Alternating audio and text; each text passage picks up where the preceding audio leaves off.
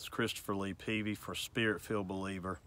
And today we are standing at a very high elevation in the southeastern United States. And we want to offer up some prayers today for families.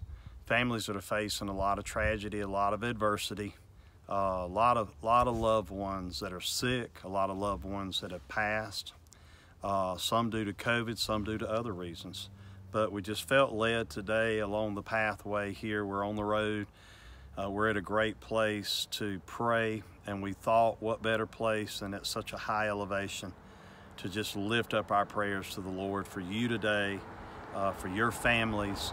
And so that's what that's what we want to do. I want you to join with me right now. I won't keep you but a moment. I want you to join with me in prayer. I want you to agree with me right now. The Bible says where two or three are gathered, he says, There I'll be found in the midst of them, any two touching and agreeing upon any one thing. He said, It shall be done. And I'm touching right now through this video, and I'm agreeing with you for your loved ones, for your families. I'm agreeing with you right now for your friends, for your, your co-workers, for your neighbors, even people we don't know that we know's in the hospital, people that we don't know that, that live in our communities that are facing certain situations and circumstances. We just want to lift up the name of Jesus that signs, wonders, and miracles might follow us, those that believe, and that our prayers prayed with a sincere heart might be heard by God and answered in a day and hour that we're living in. So let's do that right now. Will you bow your head with me and let's pray? Heavenly Father, in the name of Jesus, I know that we can pray from the lowest depths or the highest heights. But right now, God, even geographically, we choose the highest heights, one of the highest elevations in the southeastern United States to pray from. Father, we pray today for your will to be done in everyone's life today. We pray for healing. We pray for prosperity. We pray for salvation. We pray for uh, deliverance today. We pray for relationships. We pray for marriages. We pray for children. We pray for mothers and fathers and husbands and wives and brothers and sisters. We pray for aunts and uncles and cousins and grandmothers and grandfathers alike. We pray for families, Lord. We pray for congregations. We pray for pastors today, Lord. We pray for ministers, evangelists, missionaries, even around the world and locally today, God.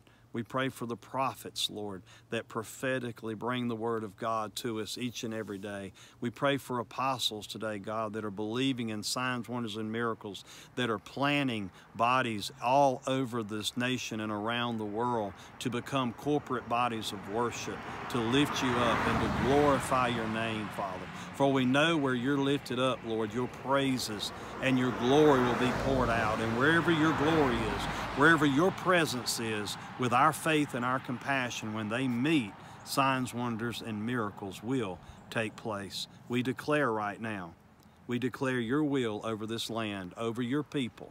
We declare, Lord, that the lost will come in. We declare that the sick shall be healed. And we declare that everyone that should pass, even in the midst of all this adversity and all this tragedy, that their souls might be saved so that they can gain heaven.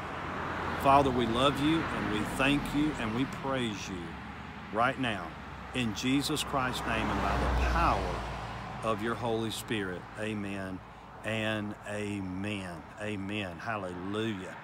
I feel a divine presence of God right now. Just a divine presence of God. Before I go, I want to invite you to pay close attention to our upcoming videos. We're putting together a website we're going to have several dates in October where Spirit Filled Believer is going to be live, not just on video. We're going to be live uh, in churches, in conference rooms, around the middle Georgia area, places that you, most of you that are Spirit Filled believers uh, yourselves can come to. And we're believing for a mighty move of God's Holy Spirit, even in the midst of this adversity. And you might say to me today, Brother Chris, why now? Why of all times with the way the guidelines are and the way everything's happening and people full of fear? Well, if there's not a better time I can ever imagine for the church and the body of Christ in general to stand up and to come forward during a time like this. So we're looking to do many services. We're looking to do many services during the month of October. In the coming weeks, I'll be uh, making an announcement about those services, about those service times and locations, and about how you can be a part of what we're doing and how you can help the gospel of Jesus Christ and the power of the Holy Spirit reach out unto every person that's willing to hear and receive. Amen. I want to thank you for taking a few minutes to join us today by clicking on this video. And until next time, I'm Christopher Lee Peavy for Spirit Filled Believer. God bless you on today.